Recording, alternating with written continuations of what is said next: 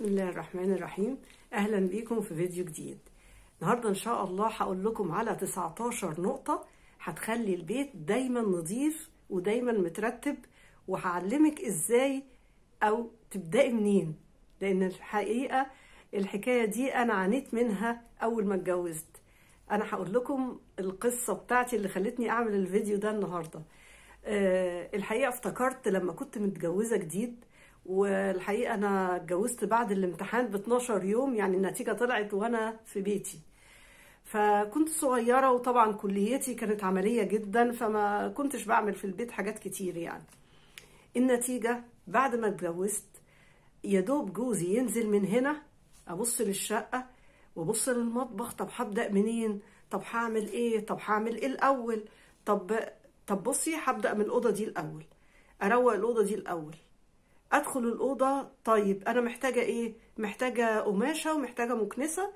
أروح المطبخ ألاقي حاجة تانية عايزة تتعمل. أنسى أنا كنت جاية هنا ليه؟ وهكذا أفضل طول الوقت ألف من هنا لهنا لهنا. أنا محتارة مش عارفة أعمل إيه ومش عارفة أبدأ منين. الحتة دي بيعاني منها الزوجات اللي هم لسه متجوزين جداد. عشان كده أنا قلت أساعدهم بالفيديو ده. فيا ريت ورقة وقلم كده واكتبي ورايا لو إنك محتاجة النقط دي عشان ما تعانيش من اللي أنا عانيت منه. أنا فضلت سنوات لغاية ما اتدربت إيه اللي ممكن أعمله. ويا ريت كان في فيديوهات وقتي كانت تعلمني الحاجات دي. هندخل على طول في الفيديو. أول نقطة وأهم نقطة اصحي بدري قبل جوزك. وزي ما قلت قبل كده الطاقة الإيجابية والشبابيك والميك أب والحاجات دي كلها أنا مش هعيدها تاني لأنها موجودة في فيديوهات قبل كده. أهم حاجة اصحي بدري ويا ريت اعملي لجوزك فطار ولو خفيف لأن الحكاية دي بتفرق معاه جدا. أنا مش هدخل في المواضيع دي دلوقتي لكن أنا بقولك عن نقاط اللي هي تخلي بيتك نظيف ومترتب ومتنظم على طول. ودي يبقى أسلوب حياة ليكي ولولادك. اصحي بدري زي ما قلت. تاني نقطة اقفلي أي حاجة هتشغلك. يعني ممكن تشغلي موسيقى خفيفة تشغلي قرآن تشغلي فيديو بتحبيه بيحفزك. لكن الموبايل اقفليه التلفزيون اقفليه. تمام؟ أي حاجة هتشغلك اقفليه. تالت حاجة استعدي بقى نفسيا كده. استعدي نفسيا دي إزاي؟ البسي لون بتحبيه. يقال إن اللون الأحمر أو الاورنج البرتقاني يعني بيساعد على النشاط. فلو عندك حاجة كده البسيها. تاني حاجة تكون هدوم مريحة. ما يكونش بقى لابسة حاجة مضايقاني قوي ومش عارفة أتحرك وكل شوية بتعمل كده و... بلاش. تالت حاجة ارفعي شعرك. مش كل شوية ينزل بقى وتقعدي تعمليه كده وفرحانة بيه قوي وبتاع. بلاش دلوقتي. آه النقطة الرابعة ارفعي معنوياتك. قولي الله إن شاء الله أنا النهاردة هنجز هعمل حاجات كتير. حمسي نفسك كده بنفسك. خلاص؟ دي تالت نقطة اللي هي استعدي نفسيا. رابع نقطة اكسري الحاجز. يعني ما تقوليش زي ما أنا كنت بقول كده ابدأي من الأوضة دي ولا دي ولا المطبخ ولا لا. ابدأي من أي حتة المهم تبدأي. تمام؟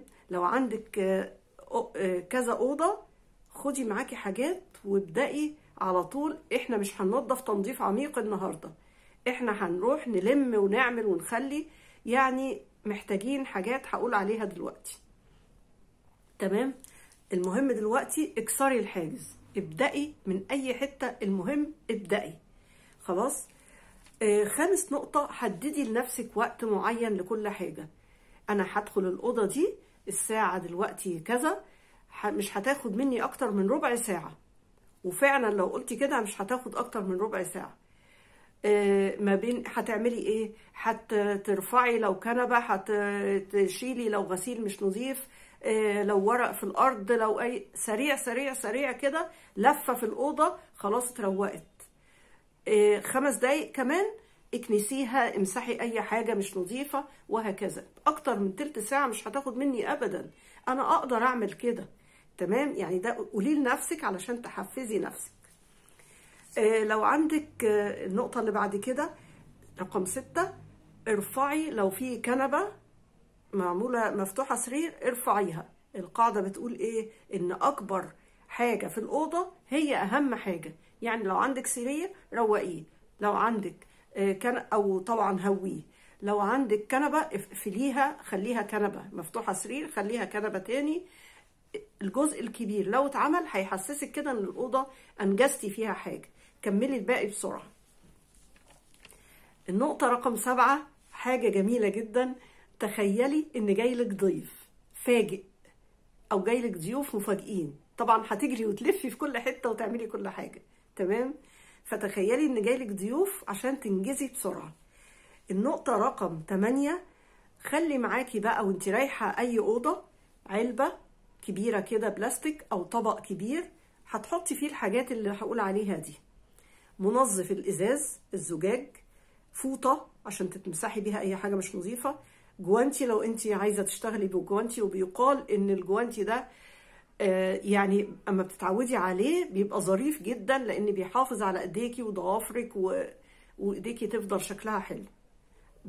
هتتضايقي منه في الأول لكن بعد كده هتتعودي عليه آه كمان خدي معاكي كيس أسود عشان لو في أي زبالة كده أو أي حاجات مش نظيفة في الأرض مناديل أي حاجة خديها معاكي. وطبعا المكنسة وطبعا سلة الغسيل. كل الحاجات دي حطيها في قلب بعضها كده وخديها معاكي سريعا كده وروحي أي أوضة. رقم تسعة خففي بقى التحف والحاجات الديكورات بتاعت العرايس دي يا ريت تخففيها كده وتحطيها جوه النيش أو جوه أي بوفيه علشان التنظيف والترويق يبقى سريع. ورد زيادة آه، ورد صناعي آه، تحف آه، أي حاجات كده ديكورات ملهاش لازمة كده حاولي تخففيها علشان تبقي سريعة أكتر في التنظيف. لو جايلك ضيوف يبقي طلعيها مفيش مشكلة هتفضل نظيفة. النقطة اللي بعد كده رقم عشرة لو هتنضفي بقى تنظيف عميق كل أسبوع كل شهر ابدأي من فوق لتحت. يعني ابدأي من من السقف تبصي عليه كده لو في أي حاجة آه، شيليها. آه، الدولاب من فوق امسحيه كده آه، ارجعي لتحت. كمان ابدأي بأوضة واقفليها وخلصيها. مش تبدأي بالأوضة دي وترجعي تفتحي في الأوضة دي وترجعي تفتحي في المطبخ كله مع بعضه مش هتقدري. تمام؟ آه النقطة اللي بعد كده خلي لكل حاجة مكان. يا ريت كل حاجة يبقى ليها مكان. يعني مش أنا جاية من بره مثلا جايبة شنط معايا جايبة حاجات من السوق أقلع الجاكيت أرميه كده أحط كيسة ال- الخضار كده أو ايا كان. آه، شنطتي هنا الدنيا اتكركبت في ساعتها. لا. كل حاجة. بدل ما إيدك تحطها جنبك لا تحطها في مكانها. على طول.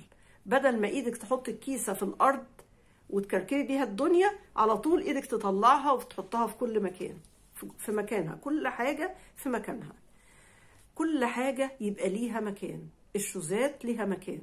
الجواكت ليها مكان. حتى لو المكنسة حتى لو أي حاجة صغيرة حتى لو قصافة الضوافر إيه، دبابيس الطرحة. أعرف ناس بتحطهم تشبكهم كده في أي حتة حتى لو في مفرش وتنسى مكانهم فين وتشتري تاني وممكن يعوروا حد و... والهرجلة إياها دي. لا أنا أحطهم في علبة صغيرة على بوفيه ولا حاجة ويبقى هو ده مكانهم ما أحطهمش ابدا في حتة تانية. ما أشبكهمش ابدا أنا جاية تعبانة بقى وأروح حطاهم شبكهم في أي حتة. لا. يعني كأني اتأخرت شوية أكتر واعملي مجهود أكتر شوية هتتعودي وهيبقى الموضوع مريح جدا بالنسبة لك النقطة رقم 13 أنا قلتها اللي هي رتبي أكبر حاجة أول حاجة. يعني لو سرير رتبيه الأول. هتحسي كده إن انت أنجزتي. لو في المطبخ الرخامة الأكبر حاجة رتبيها الأول ولمي كده كل اللي عليها وانجزي كده هتحسي إن انت عملتي حاجة. النقطة رقم 14 يا ريت ظرف بلاستيك كبير كده يكون خاص بكل فرد من أفراد الأسرة. يعني كل فرد له ظرف معين بلون معين. كل واحد عارف اللون بتاعه. ده ليه بقى؟ ده يتحط فيه شهادات ال- الفرد ده. آه، مثلا الشهادات الدراسية بتاعته شهادة الميلاد كل ما يخصه. يعني علشان ما نرجعش تاني نتوه في كل أوراق البيت أو نحط كل أوراق في حتة ونرجع تاني ندوخ في كل أنحاء البيت. درج نيش درج بوفيه درج سراحة معرفش إيه. لا. أنا ما بحبش الطريقة دي ابدا. كل حاجة منظمة في مكانها. وأعرف ناس بيعملوا كده فعلا وبيفضلوا طول عمرهم كده علشان ما تعودوش إن كل حاجة يبقى ليها مكان. آه، نقطة رقم 15 يا ريت يبقى في شماعة جنب باب الشقة. تيجي من بره حطي عليها الجاكيت بتاعك حطي عليها الشنطة بتاعتك حطي عليها ال- الأولاد من بره جايين حطي عليهم بر- برضو الجواكت بتاعتهم الشنط بتاعتهم. بدل ما يرموها في كل حتة والدنيا تبقى مقلب ع- يعني عشوائية قوي كده وتبقى شكلها مش حلو لا. كل واحد عارف مكانه فين. آه، نقطة رقم 16 يا ريت نبص للنص المليان من الكوباية. يعني كوب كده أو كاس مية نصه مليان ونصه فاضي. نبص للنص المليان. يعني إيه الكلام ده؟ يعني لو أنا نظفت أوضة أبص إن أنا نظفت أوضة وأكافئ نفسي وأبص لنفسي كده بحب وباحترام وبتقدير. أنا عملت حاجة. مش أقول يا ده أنا لسه ورايا حاجات قد كده. يا هيخلص إمتى الحاجات اللي ورايا؟ لا. أنا أنجزت حاجة واستحق المكافأة واستحق التقدير. تمام؟ يا ريت برضو نخلي سلة أو basket في كل أوضة في كل غرفة كده في basket عشان نعود الأولاد أي حاجة أي مهملات هم مش عايزينها بدل ما يرموها في الأرض أو على المكتب والدنيا برضو تبقى مش حلوة آه، يحطوا على طول أي حاجات مهملات يحطوها في ال basket ده. ويا ريت يتعودوا إن هم أي هدوم مش نظيفة على طول في basket الغسيل. مش يسيبوها في أي حتة وأنا كده اللي ألف في الشقة وأخدها لأ. يا ريت أي هدو أي مهملات زي ما قلت في ال basket. basket الزبالة لما يتملى هم ياخدوا الكيسة بتاعته ويودوها في ال basket الأساسي في المطبخ. يعني يبقى فيه نوع من المساعدة كده. كل واحد يلم الحاجات اللي في أوضته. النقطة رقم 18 لو حابة تشتري أي حاجة يا ريت تفرزي الحاجة اللي عندك اللي هي من نفس النوع قبل ما تشتري. يعني أنا ماشية مثلا عجبني فستان. طب ما أنا أفرز الفساتين اللي عندي الأول وأشوفهم. آه، ينفع منهم؟ آه، أنا محتاجة الفستان ده. آه، طيب محتاجاه. خلاص محتاجاه وعايزاه وهي فرصة وبتاع وكده. أشوف بقى الفساتين اللي عندي. اللي أنا مش محتاجاها ومش حباها ومش هستعملها تاني أطلعها. أطلعها بقى صدقة أطلعها آه، أتصرف فيها بأي شكل. ما كومش بقى حاجة على حاجة على حاجة بحيث إن الحاجات تبقى كتير جدا وأنا مش عارفة مش لاقية لها مكان. لا كل حاجة جديدة تيجي. مكانها حاجة قديمة من نفس النوع تطلع من البيت بأي صرفة بأي تصرف. صدقة بقى بأي تصرف. انت انت وراحتك يعني. النقطة رقم 19 لو عندك حاجة متوسخة قوي انقعيها. يعني إيه؟ يعني لو البوتاجاز وسخ متوسخ قوي آه، اعمليه بصابون سائل كده أو بالخلطة اللي أنا قلت عليها وسيبيه منقوع كده لغاية ما تغسلي المواعين. هتلاقي تنظيفه سهل جدا وهتكسبي وقت ومجهود.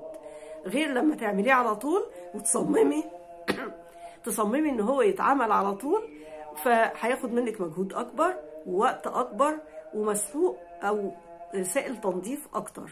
نفس الموضوع الحمام. حمام اتوسخ معاكي ولازم له تنظيف عميق. آه، مر عليه مرة كده بال- بالفرشة بمن- بمنتهى البساطة يعني هو مش بمجهود كبير. مري عليه كده هو بسائل التنظيف أو بليفة أو بأي حاجة اللي متعودة عليه من غير مجهود وخلي السائل التنظيف ده عليه لغاية ما تروحي للمطبخ تعملي حاجة تانية. هتيجي تعمليه بمنتهى البساطة هيكون اتنقع وهيكون بقى آه، أسهل في التنظيف وأسهل زي ما قلت في المجهود وفي وفي كمية المسحوق بتاعك. دي 19 نقطة قدرت أجمعها. يا رب تنفعكم ويا رب البنات الصغيرين يستفيدوا منها. وحتى الناس الكبار اللي هم ممكن حد يكون محدش علمه. يعني آه، ممكن آه، لا قدر الله مامته تكون متوفية مامته تكون آه، مش موجودة. أيا كانت الظروف ممكن يكون محدش علمها المواضيع دي. أنا بقول يا ريت حد علمني وأنا في شبابي ما كنت اختصرت على نفسي مجهود كبير جدا. أتمنى أشوف التعليقات بتاعتكم اللي بتفرحني جدا وإن شاء الله أشوفكم في فيديو تاني بإذن الله. ألف سلامة.